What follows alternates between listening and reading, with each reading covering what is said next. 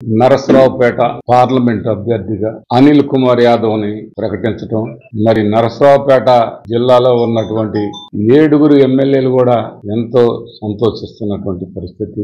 ఎమ్మెల్యేలు సంతోషించడానికి ప్రధానమైనటువంటి అంశం ఒక బీసీ మరి ఎప్పుడు నరసరావుపేట ఉమ్మడి రాష్ట్రంగా ఉన్నప్పుడు గాని మరి ఏనాడు బీసీకి ఎంపీగా ఇచ్చినటువంటి దాఖలాలు మరి పెద్ద గొప్పలు చెప్పుకునే తెలుగుదేశం పార్టీ వాళ్ళు బీసీలను అన్ని విధాల వాడుకొని వదిలేసిన పరిస్థితి కనిపిస్తా ఉంది. ఆనాడు ఈనాడు ఏనాడు కూడా బీసీలతో పూర్తి స్థాయిలో వాళ్ళ వల్ల లబ్ధి పొందారు తెలుగుదేశం పార్టీ వాళ్ళు. కానీ వాళ్ళకి కనీసం కూడా కనీసం కరేపాకులాగా తీసి పక్కన పెట్టారు. గాని ఎక్కడ కూడా బీసీలకి సముచిత స్థానం కల్పించలేకపోయినటువంటి తెలుగుదేశం పార్టీ వాళ్ళు ఎలక్షన్ వచ్చినప్పుడు ఇప్పుడు మరి పూర్తి స్థాయిలో మాకు బీసీలే మా ఎన్నెముక అని చెప్పడం జరుగుతూ ఉంది. అయితే ఈ రోజు గౌరవ ముఖ్యమంత్రి జగన్మోహన్ రెడ్డి గారు ఇవాళ బీసీలకి వచ్చేవరకు ఏలూరు ఎంపీగా బీసీ బీసీలకే ఇవ్వడం జరిగింది. మరి నర్సరాపేట ఎంపీగా